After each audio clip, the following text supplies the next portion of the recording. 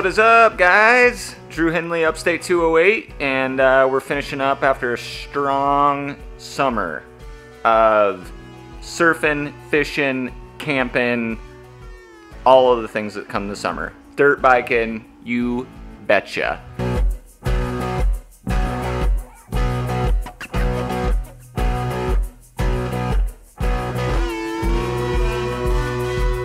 Uh, it is early September right now, and it's uh, 72 degrees out. Um, I think we're gonna hit like 90 today, so summer is not quite over yet. However, I have this little lady on my mind right here. Yeah, sled season. It's coming. Get ready. La Nina. That's what they say. They just officially announced it on the local news station that we are having an La Nina system, which means above average moisture.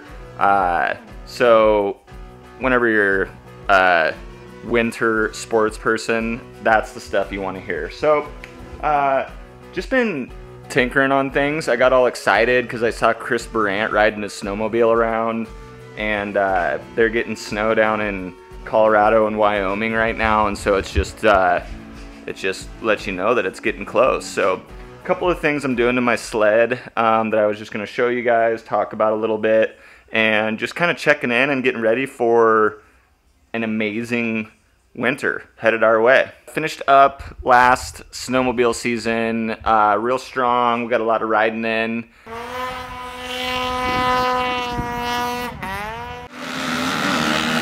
And uh, as always, I broke some stuff. Uh, not obviously uh, extremely pertinent stuff. It was stuff I could still ride with and just kind of deal with and just kind of put it on the back burner towards the end of the season. Uh, that being said, uh, a couple of those things were my kill switch. Uh, if you have a new Gen 4 Skidoo, uh, you may have encountered this. If you haven't yet, you may.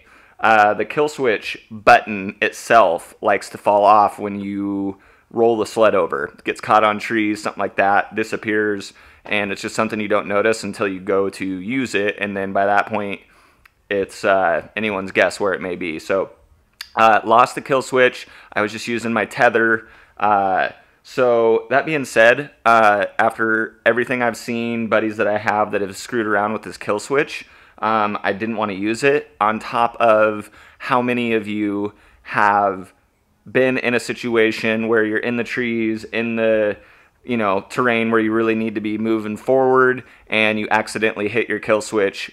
Boom, done. You're stuck, and it's just always super annoying. So that being said, I went to this guy right here, which is the uh, Fly Racing. The picture's not super bright. See it right there a little bit. The Fly Racing uh, billet aluminum one, and it's just a push and hold button like on your dirt bikes. So um, I didn't even look at what the um, the Skidoo one costs because I'm sure it's stupid.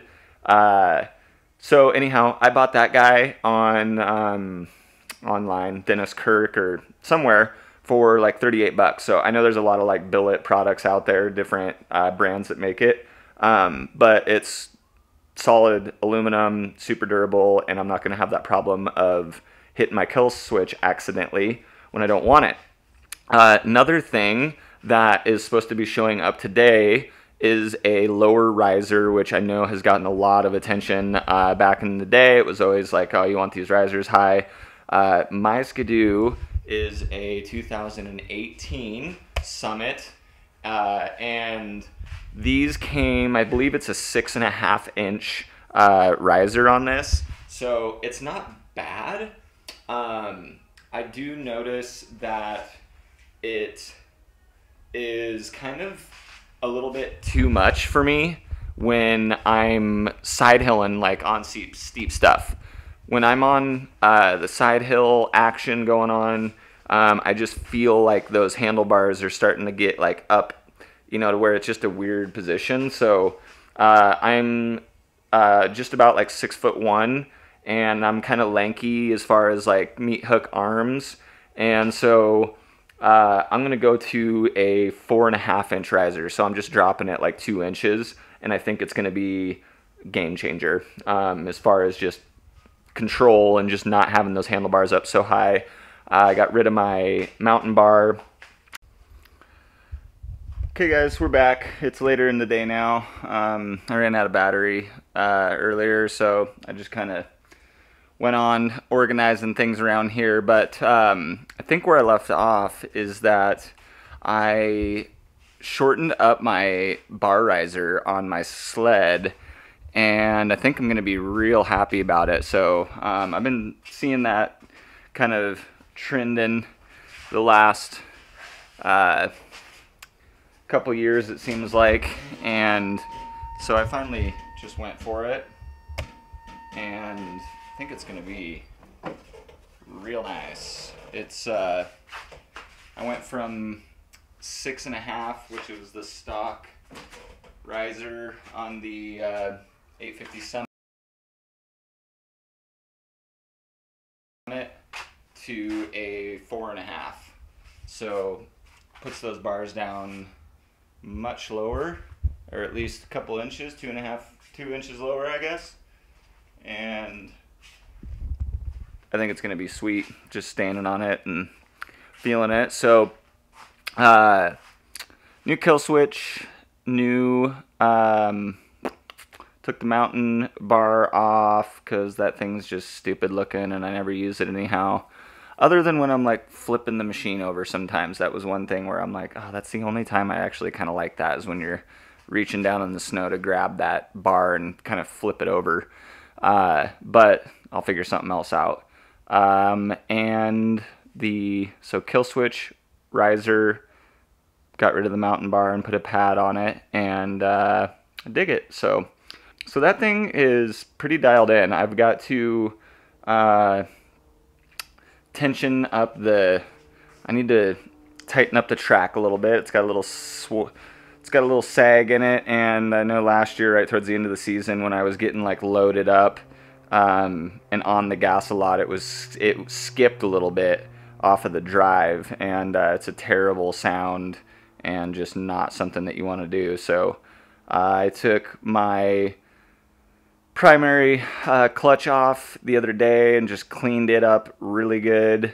Um, I didn't pull anything apart. Everything looks like it's fine. Um, but just pulled it off, uh, cleaned everything up that I could get to very well, and got that dialed in as well as the secondary. Um, just kind of visually inspected all that. I'm going to drop the chain case oil and put fresh oil in, tension that up, make sure that it's good, and that sled is probably dialed in and ready to go. Um, so, that being said, I've got this guy right here, which is a 04 uh, Rev, and this was, uh, it's an 03 or an 04, I honestly can't even remember right now, but um, this was the first year of the Rev chassis, and this was my second sled that I ever owned, but my first real sled that I rode in the mountains and started getting my uh, my feelers out there. So it's a 151 track, um, 800, and it is redneck modified a little bit. I chopped the seat way down on it because, as you guys remember, the seat came back to like well, it actually like went back and over that gas can. So it was just ridiculously huge and in the way. And um, so this is my extra sled now, wife sled, buddy sled, um, all of those things. And it does not get ridden a whole lot, but I will say that um, the old school revs uh, are not a bad sled to get you into the game. Um, obviously, I this is really about as inexpensive as you can get and still get that upright, like ergonomic uh, body style on a sled. So I like these sleds. They're difficult to ride when you ride a one of the newer machines. Um, and the tracks are not as long, they're underpowered, but I will say starting on the sled and working through some more technical terrain in the mountains uh, was extremely helpful when I stepped up to the 850 um, Gen 4. It was like night and day, and I was able to start going places that I just didn't think I had the ability to go. Um, so, that being said, uh, I still ride the sled.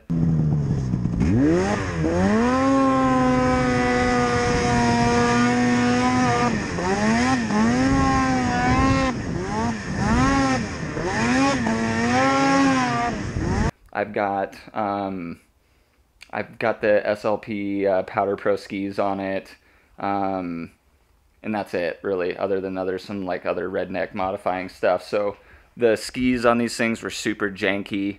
Um, it was like if you're familiar with these, when you were on the sled looking down at the skis, it was almost like you like looking at your someone that had their shoes on the wrong feet. It was super weird. They did it for I think like one or two years, where the ski had like a weird, weird. I don't know. It was just weird, and uh, they sucked. So I will say that putting those skis on uh, definitely helps with just navigating mountain terrain. So it's been a good sled. Um, I smashed the bumper on it and broke it, which, if anyone is familiar with these things, that happens. Uh, it's the second time I've done it, and honestly, I cut out and um, put it on its side on a downhill, and it just started like pushing snow, like bulldozing it. And I kind of just like bulldozed into a snowbank, and it snapped that front bumper. So it's definitely a weak spot. Um, I will say, like, all of this framework in here is kind of tweaked and bent and it's just pretty chintzy.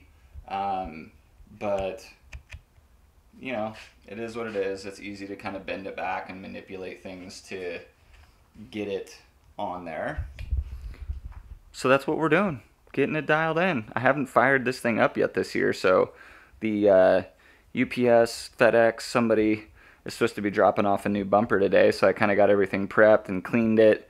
Um, clutches cleaned on this thing, and just pretty much it's all I do is just dump gas and oil in it and pull on the cord and let her rip and keep it clean. Change the chain chain case oil, make sure things are tensioned up right, and um, she's just a runner, so that's good. Bumper just showed up from UPS, so better late than never. Got a freshie here. So now it's just a matter of uh, goofing around with this thing, getting her slapped on. So I think I'll time lapse that.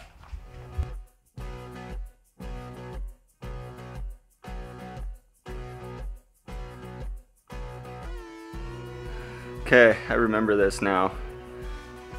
And it's a pickle things are tweaked which make it way more difficult. So, here's the deal. Because there's multiple there's multiple spots. So like this fender well has to tuck up into the bottom of the bumper. You can see right here I'm like gapped out. So it's all it's all wanky. Wonky, wanky wonky. And so you just gotta flex on things just got to be flexing. Flex it out, get everything tweaked in. So it's a pickle. It's gonna take me a bit yet still to gonna get, I got one bolt in. I just gotta keep flexing on things. Not gonna lie. This is one of those things that's like a really simple task in theory, but it's just a pain in my butt to get it done. So I got these two bolts in. I got these two front bolts in. There's another one right back here that's pretty close to lined up.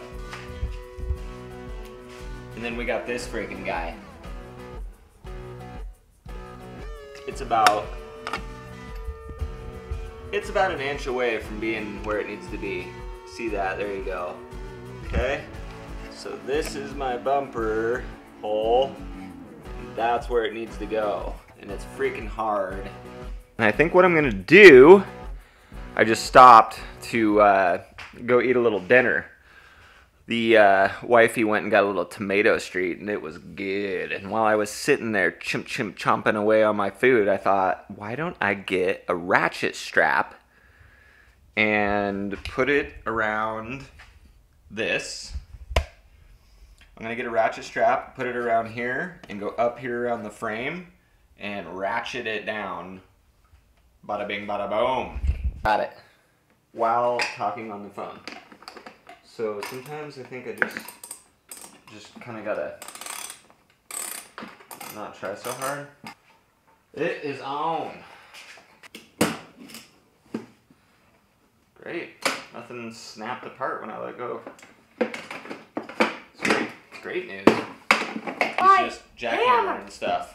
is Sledgehammering going stuff. to get you. He's a lot of help, as you can tell. Okay, it's time to put this bee back together.